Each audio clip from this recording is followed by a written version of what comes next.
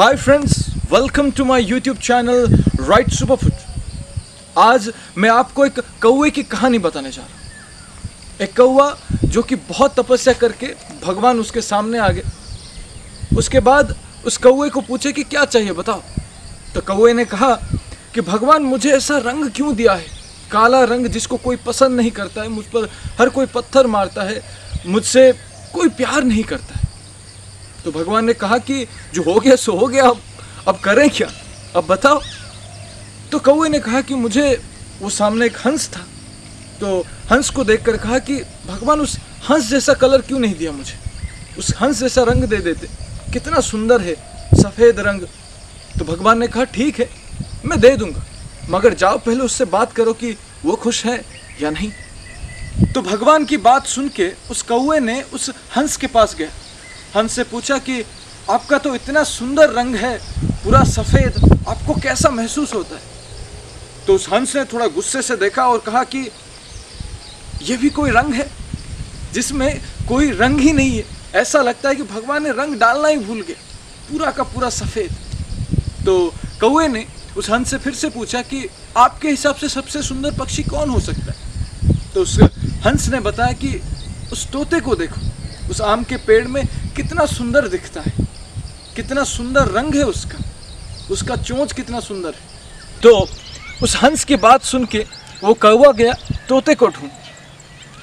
आम के पेड़ के इर्द गिर्द कुछ देर घूमने के बाद वो फाइनली उस तोते को देखा और उसके पास गया और कहा, कि आप कितने सुंदर हो। और तोते ने कहा हाँ इसीलिए आपको मुझे ढूँढने के लिए इतना देर घूमना पड़ा।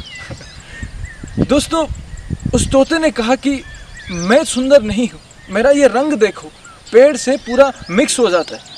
पता ही नहीं चलता कि मैं पेड़ पे बैठा हूँ या नहीं हूँ। इसको सुंदर कहा जाता है। तो उस कौवे ने फिर से क्वेश्चन की कि तो कौन आपके नज़र में सुंदर है? तो तोते ने कहा कि, मोर के पास जाओ। वो कितना सुंदर है उसका रंग कितना अच्छा है, उसका पूंछ कितना सुंदर है। तो कौवा मोर के पास गया। मोर से जाके कहा कि, आप कितने सुंदर हो। मोर ने कहा हाँ सुंदर तो हूँ मैं, इसीलिए मुझे बंद करके पिंजरे में रखा जाता है।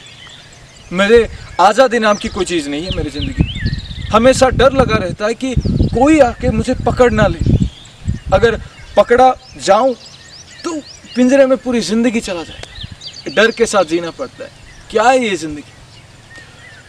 तो उस कौए ने कहा कि तो आपकी नज़र में कौन सबसे ज़्यादा सुंदर है?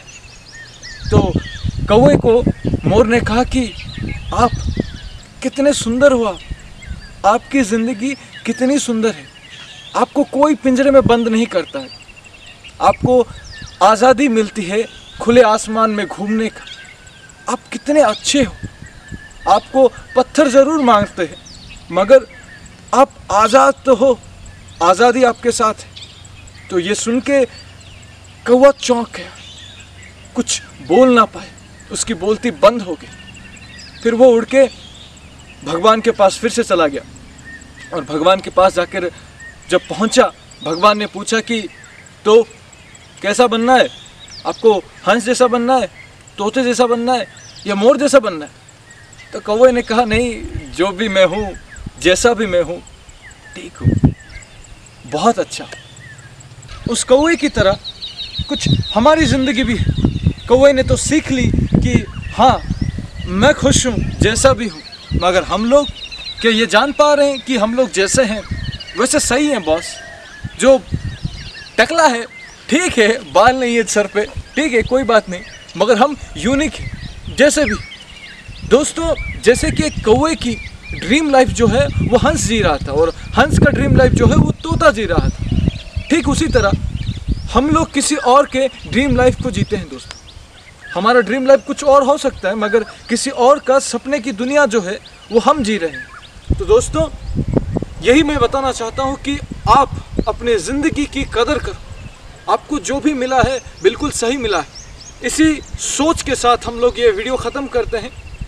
हम अपनी ज़िंदगी को आज से ऐसा नहीं बोलेंगे काश उसके जैसा होता, काश उसके जैसा होता। नहीं, हम जैसे भी हैं, बिल्कुल सही है। गुड बाय दोस्तों। Thank you